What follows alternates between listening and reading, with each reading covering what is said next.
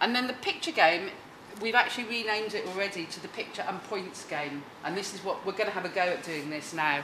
So, I'm really sorry. this is Bob. He's 47 and defines himself as an alcoholic. Uh, she is Claire, and she's 35 and she lives with her mother. And he is Jean-Louis. And he's 60. et habite seul avec son chien. So, uh, so you could look at Jean-Louis and look at that in the context of the information that you've got about him against the points in the back of your handout and work out whether or not he would get PIP. And so again, do this as a real exercise if you would. Um, really try and work out whether or not that person would be eligible for PIP.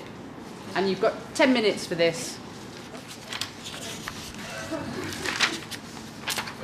Right, let's see, mobility, eligibility. What are you looking at? Where is it?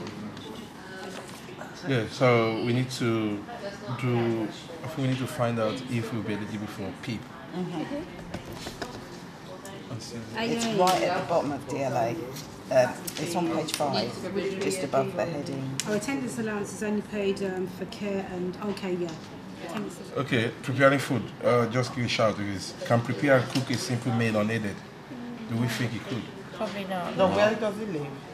So that would be needs prompting, cannot plan a route of a journey. Yeah. No, I would say, yeah, she, I don't think she can plan a, a route or a journey. I think it's working really well with the photos. I think it really brings them to life, actually, with a bit of an introduction about them. Um, and in a real training situation, you could get everybody looking at the same one to see if they come up with the same amount, or you could have a few different ones and swap them round. So there's lots of different ways that you could deliver that.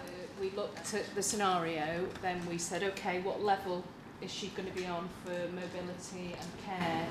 How many? So we looked at the points, looked at the levels, and then we said we would award. If it was up to us, we would award this amount a week. So that's as an exercise that that's what you're trying to get at, isn't And that's what I was thinking. If you all do the same one and two tables have a different figure, then ah, that's the discussion, isn't it? About why they've said she's standard and Yeah, why you've said she's enhanced.